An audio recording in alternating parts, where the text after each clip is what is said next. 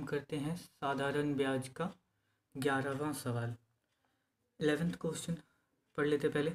आठ प्रतिशत वार्षिक सरल ब्याज की दर से कितने वर्ष में छः सौ रुपया का ब्याज एक सौ अड़सठ रुपया होगा? तो ये एकदम सिंपल सा सवाल है। देखिए सब कुछ दिया हुआ है, ब्याज दर दी हुई है मूलधन दिया हुआ है और ब्याज दिया हुआ है। हमें निकालना क्या है? हमें निकालना है, समय कितना लगेगा?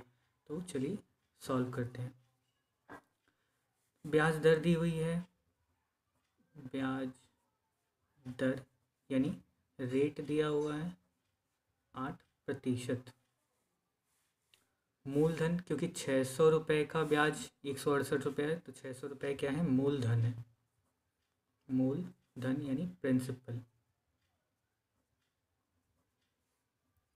छः सौ रुपया और ब्याज दी हुई है, साधारण ब्याज यानी सिंपल इंटरेस्ट दिया हुआ है एक सौ अड़सठ रुपये अब हमें निकालना क्या है? निकालना है हमें समय टाइम मान लिया टाइम जो है वो टी वर्ष है।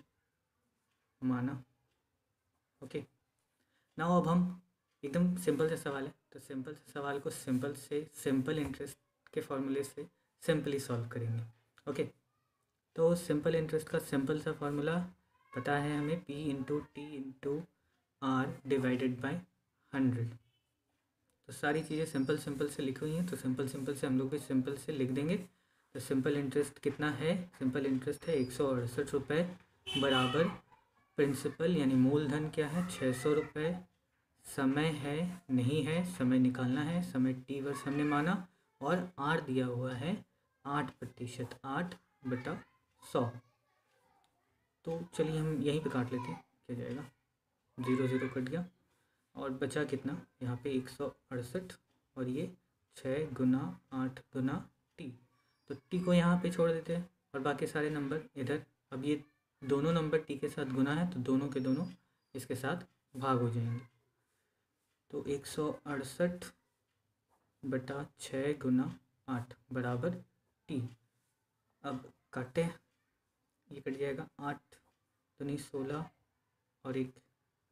इक्कीस, अब ये तीन से कटेगा, तीन दूनी छः, तीन सत्ते इक्कीस। यानी टी बराबर कितने हो गए? सात बट्टा दो वर्ष अब सात बट्टा दो वर्ष सात बटा दो वर्ष मतलब साढ़े तीन साल। यानी थ्री पॉइंट फाइव वर्ष मतलब तीन वर्ष और छः महीने। ये हो गया। आंसर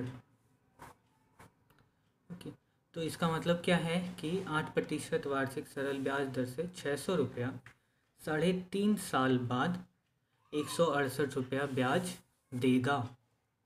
हम्म, सोचिए कितना सारा ब्याज मिल रहा है। फ्री का पैसा।